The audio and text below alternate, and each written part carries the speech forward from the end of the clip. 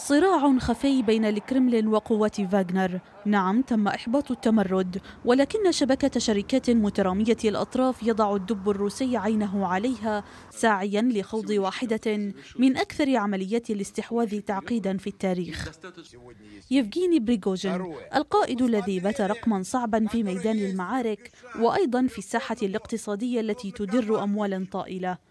سنوات من إنكار الرئيس الروسي فلاديمير بوتين ارتباطه بهم لكنه مع اعترافه بتمويل المجموعة ب 950 مليون دولار يبدو أنه يحاول خوض تحد هائل للسيطرة عليها أو على الأقل على أملاكها. صحيفة وول ستريت جورنال الأمريكية طرحت تساؤلا من يسيطر على إمبراطورية الحرب والذهب؟ التقرير أوضح أن أكثر من سبعين شركة حول العالم ارتبطت أسماؤها ببرغوجين نصفها يتحكم بالمقاولات الحكومية والعقارات والأصول الفاخرة كاليخوت.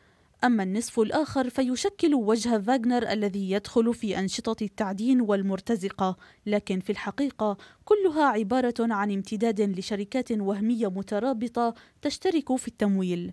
إحدى هذه الشركات تنفذ عملياتها في سوريا وتطور النفط والغاز على ما يقرب من عشرة آلاف ميل مربع من أراضيها. وكذلك توطد علاقتها مع مدغشقر ثم تنقب في أفريقيا الوسطى عن الذهب والماس.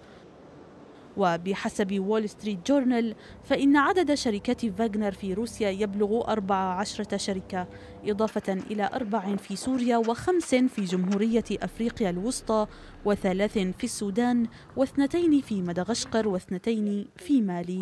إسراء الصغير العربية. لمتابعة المزيد من الأخبار والبرامج والقصص الإنسانية والوثائقيات والتقارير الإخبارية لا تنسوا الاشتراك في قناتنا على يوتيوب الضغط على زر الإعجاب وتفعيل جرس التنبيهات.